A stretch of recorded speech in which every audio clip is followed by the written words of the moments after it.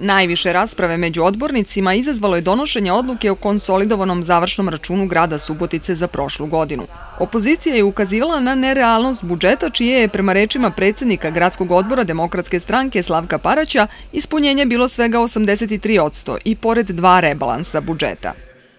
Dakle, budžet je bio prenaduvan, virtuelan i očito da e, je to tako, jer to govori i sam e, izveštaj o konsolidovanom završnom računu.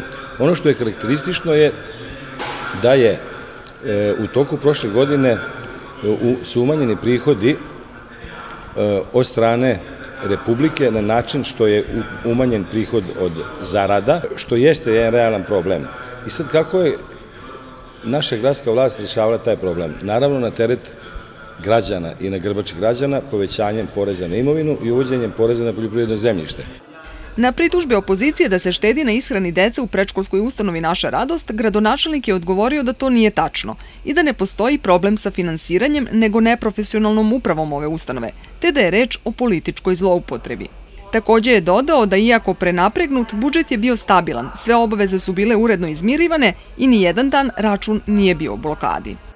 Ja sam bio jedan verovatno prvi gradonačelnik i prošle godine svakih šest meseci sam davao na konferenciji štampu izveštaj o trošenju sredstava i o prihodovnoj strani budžeta i o rashodovnoj strani budžeta. I u junu mesecu i krajem prošle godine sam dao izveštaj vezano za to građanima Subotice. Nema tu šta da se krije. Ono što jeste realnost da smo stabilizovali budžet, da imamo, nemamo više tih problema da se svaki dan tu zvone po stotine telefona sve za pare, uglavnom se uredno izmiruju sve obaveze, sve, obaveze koje smo imali smo uredno izmirili, sve kredite smo uredno vraćali i nije bilo ni jedan dan blokada računa grada Subotice. Skupština grada usvojila je i odluku o donošenju plana detaljne regulacije za izgradnju azila za pse i mačke severozapadno od ulice Ganja Šor.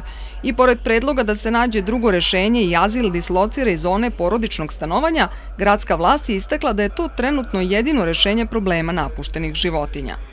Mi se slažemo da dugoročno grad Subotica treba da ima azil koji će u skladu sa zakonom ispunjavati sve uslove i da se psi lutalice i mačke uklone sa gradskih površina.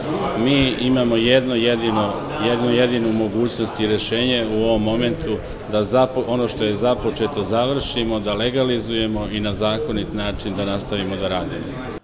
Na današnjoj sednici za direktora Centra za socijalni rad imenovana je Miroslava Bagavac, dok je na mesto vršioca dužnosti direktora Zološkog vrta Palić imenovan Petar Savić. Usvojen je i set tačaka koji se odnosio na donošenje rešenja o razrešenju i imenovanju predsednika i članova upravnih i nadzornih odbora ustanova kulture. Odbornici su usvojili i odluku da se gradsko priznanje dr. Ferenc Bodrugvari dodali filmskom reditelju Andreju Boki, studentu Fakulteta muzičke umetnosti Dušanu Svilaru i slikaru Ervinu Kanju.